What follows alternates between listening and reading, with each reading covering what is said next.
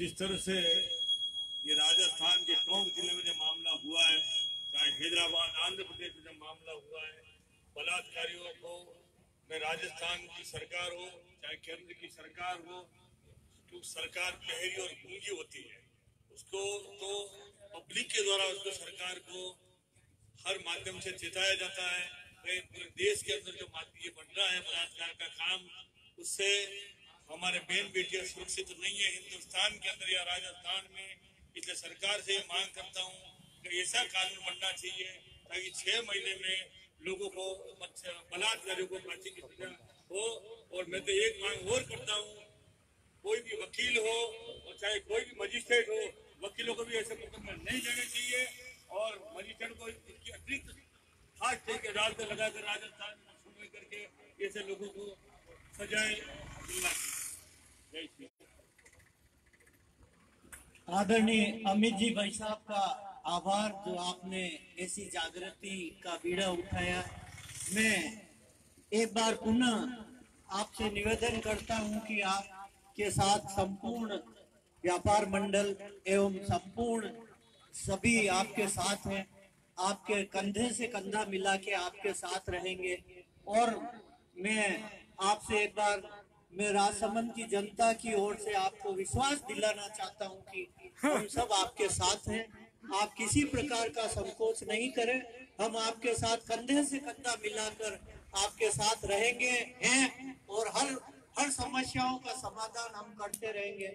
आदरणीय भाई साहब से मैं निवेदन करूँगा कि अपना उद्घोष प्रदान करें।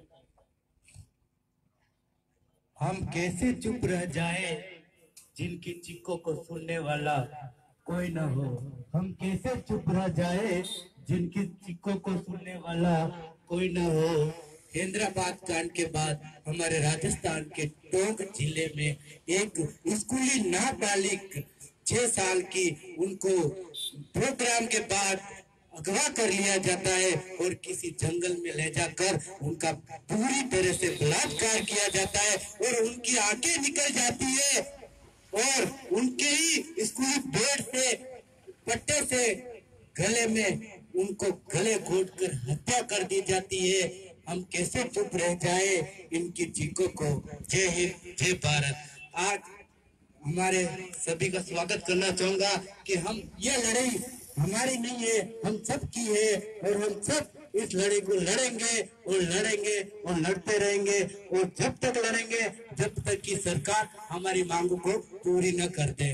सरकार से हम यही चाहते हैं कि हम आप ऐसा कानून लाइए जो हर बलात्कारी को फांसी की सजा हो, वही छह माह के अंदर। और हर बलात्कारी को फांसी की सजा हो, और वो छह माह के अंदर हम कैसे चुप रह जाए उनकी चीखों को, जिनकी आवाज़ सुनने वाला कोई ना हो। जय हिंद, जय भारत। कल भारत बंद के तहत आप सबसे निवेदन करूँगा कि राजसमंद में पुरानी कलेक्ट्रेट पर आप सब बड़ी से बड़ी जन संख्या के साथ बताने की कृपा करें ये लड़ाई हमारी नहीं है हम सब की है।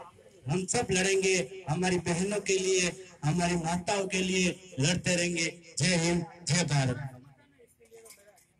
हम धन धन तन मन धन से आपके साथ के लिए पूरा पूर्ण समर्थन है हमारा। अब ऐसा है कि मैं एक बात चाहूँगा कि हम